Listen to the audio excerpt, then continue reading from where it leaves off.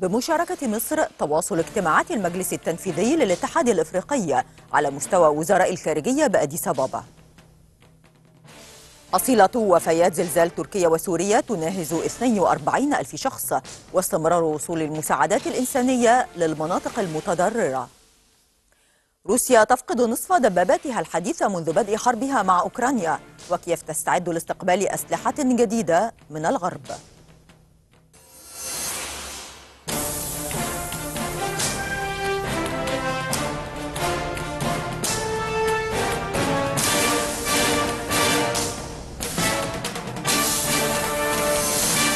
العاشرة بتوقيت جرينتش الثانية عشر ظهرا بتوقيت القاهرة نشرة إخبارية جديدة من دي أم سي. أهلا بحضراتكم.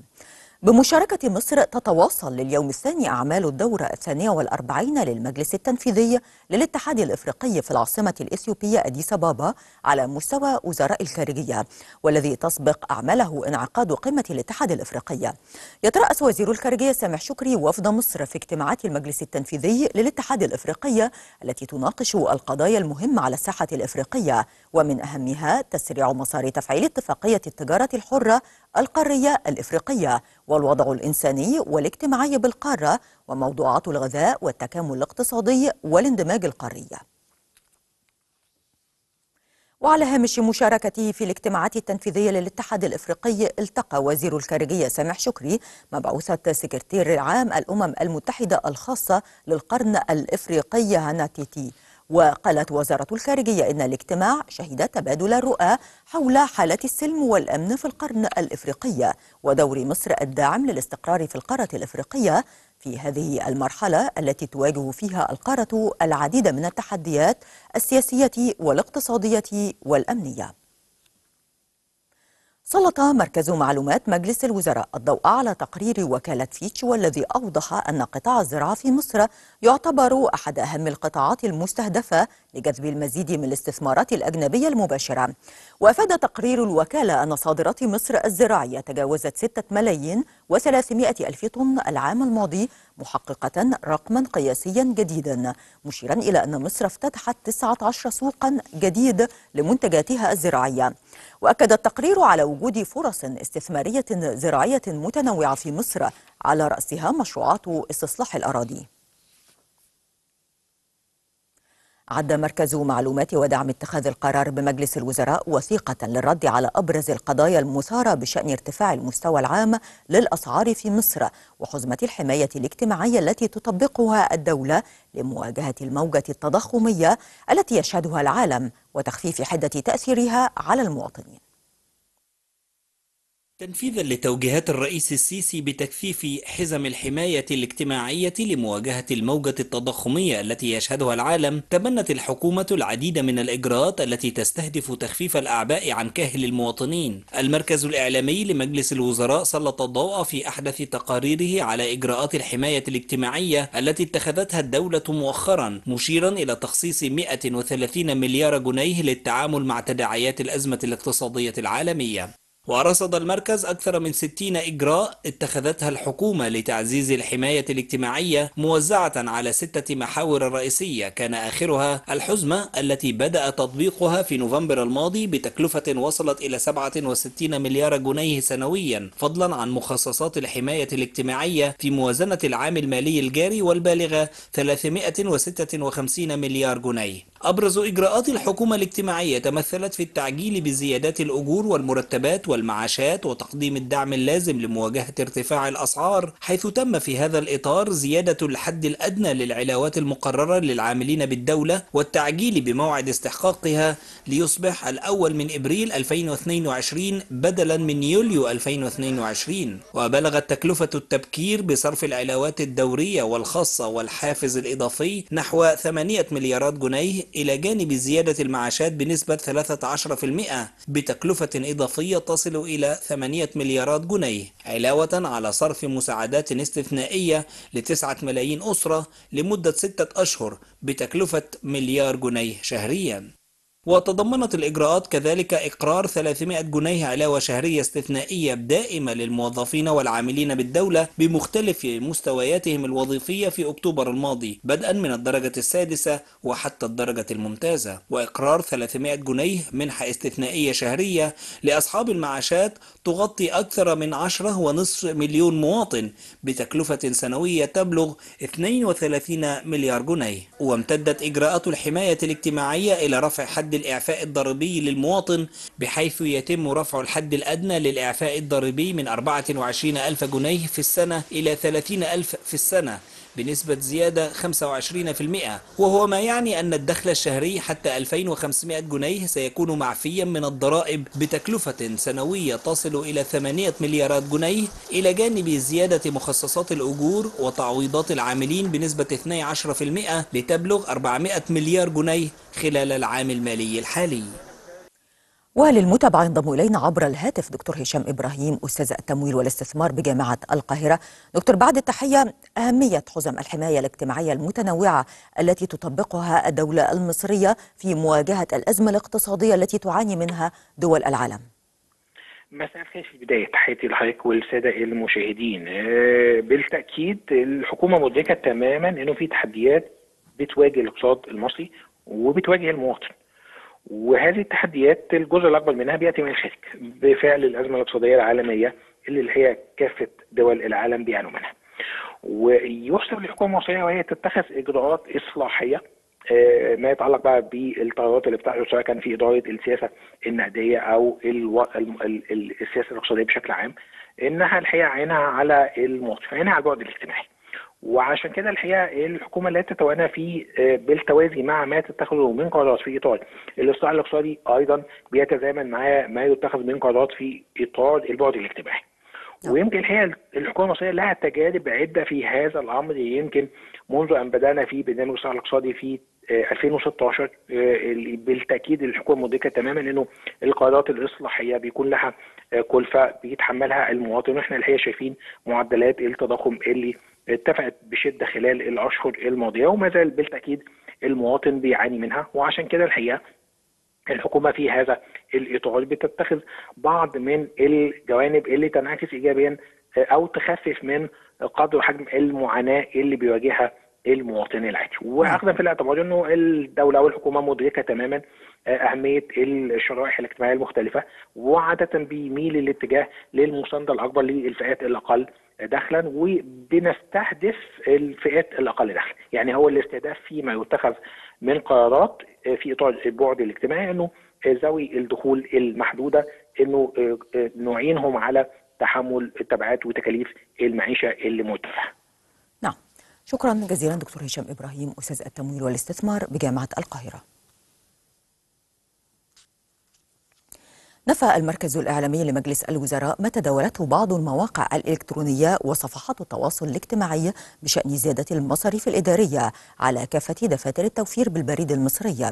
وأكدت الهيئة القومية للبريد على أنه لم يطرأ أي تغيير في قيمة الرسوم الإدارية التي يتم تحصيلها على كافة دفاتر التوفير بالبريد المصري موضحة أنها أقل رسوم إدارية يتم تطبيقها على حسابات التوفير في مصر حيث يتم تحديد قيمة المصاريف الإدارية بشكل متفاوت بناء على قيمة الرصيد المتوافر بدفتر التوفير.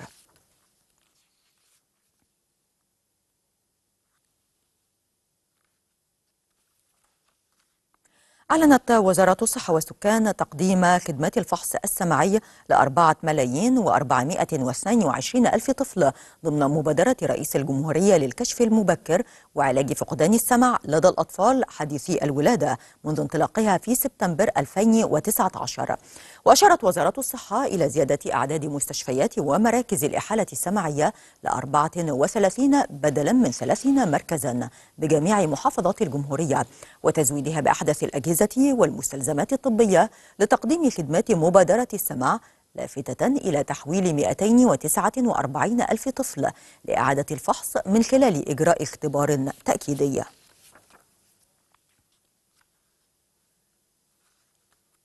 ومشاهدينا الكرام نتواصل مع حضراتكم لتقديم نشرة الأخبار بعد الفاصل.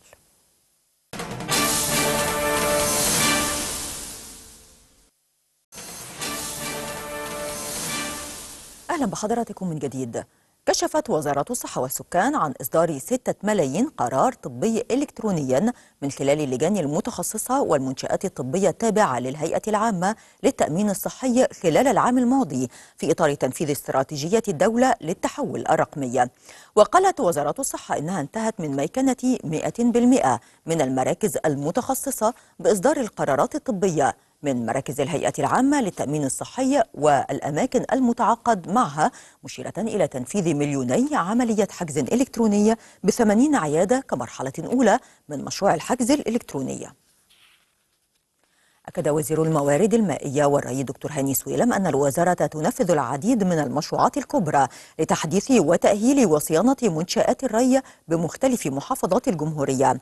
وقال وزير الري إن مشروع قناطر ديروت الجديدة يعد من المشروعات الكبرى التي تنفذها الوزارة موضحا أن المشروع يهدف إلى تحسين الري في زمام مليون وستين ألف فدان في محافظات أسيوط والمنيا وبني سويف والفيوم والجيزة بهدف توفير منظومة متطورة للتحكم في تصرفات الترع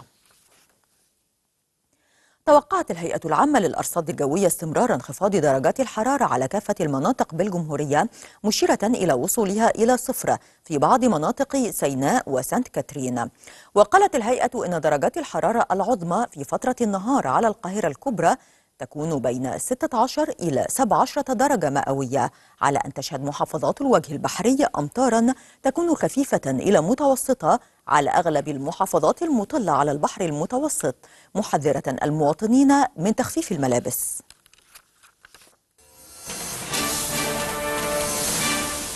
أعلنت إدارة الكوارث التركية ارتفاع حصيلة قتلى الزلزال المدمر إلى 36187 شخصا حتى الآن فيما أصيب أكثر من 108 ألاف.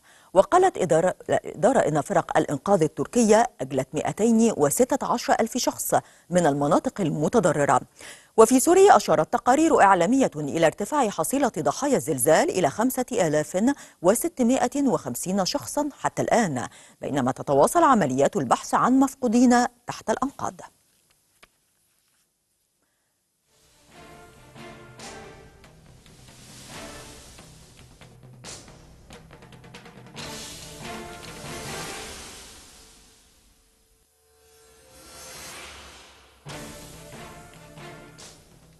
هذا وأعلنت إدارة الكوارث والطوارئ التركية أن القشرة الأرضية تحركت بمقدار سبعة أمتار وثلاثين سنتيمتر بفعل زلزال زلزال كهرمان مرعش. وقالت الهيئة التركية أن قشرة الأرض اهتزت بشدة لمدة دقيقتين أثناء الزلزالين. موضحة أن زلازل الزلزال المزدوج ضرب مساحة واسعة من تركيا تعد أكبر من مساحة العديد من البلدان في العالم وبلغ العدد الإجمالي للهزات الارتدادية حتى الآن 4300 هزة.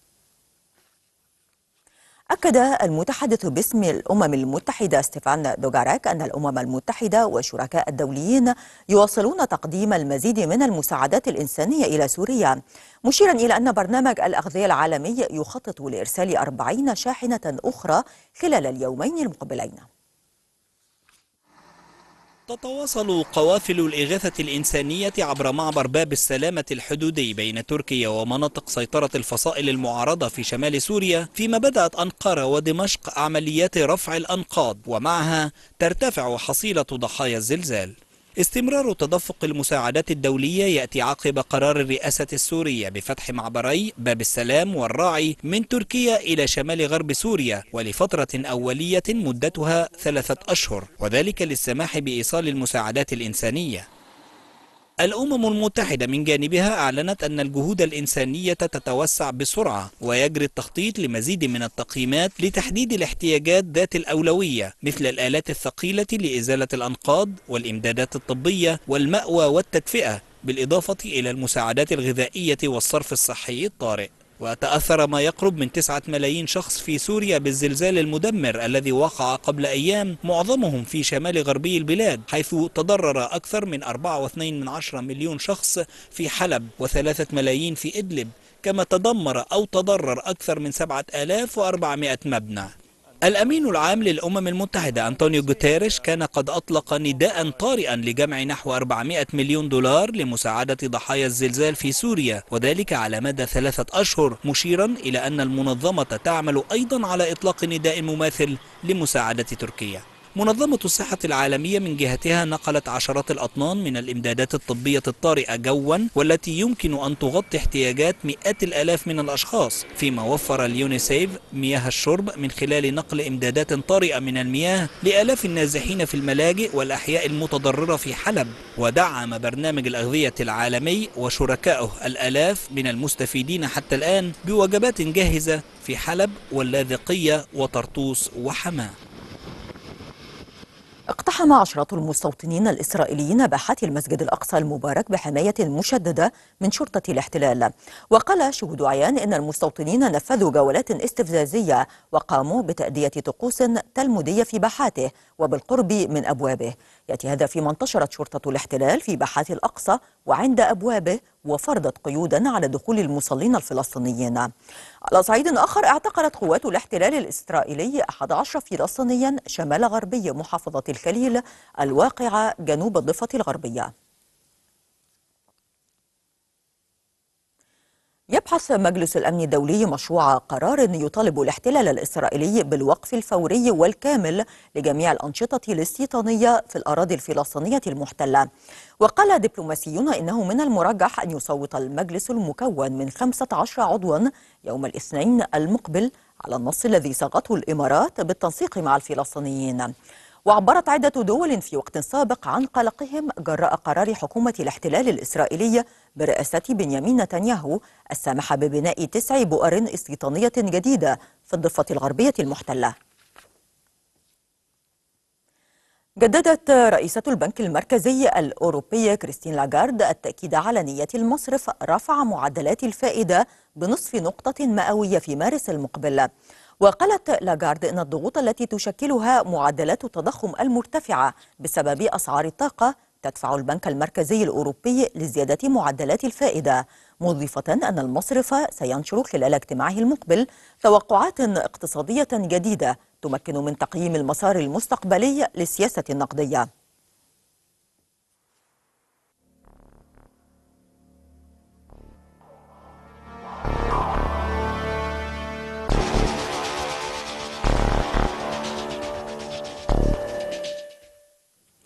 أعلن الجيش الأوكراني أن روسيا أطلقت 36 صاروخا على مناطق متفرقة من البلاد فيما دوت صفارات الإنذار في عدة أقاليم. وقالت هيئة الأركان العامة للقوات المسلحة الأوكرانية إنها تصدت لأكثر من 15 هجوما للقوات الروسية في منطقتي لوغانسك ودونيتسك. على الجانب الروسي أفادت السلطات أن الدفاعات الجوية تصدت لهجوم بمسيرات أوكرانية وأسقطت اثنين فوق البحر في شبه جزيرة القرم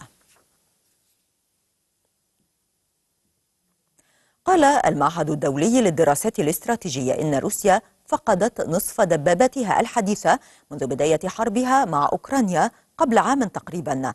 وتعمل على تعويضها بينما تستعد كييف لاستلام دبابات حديثة من الغرب.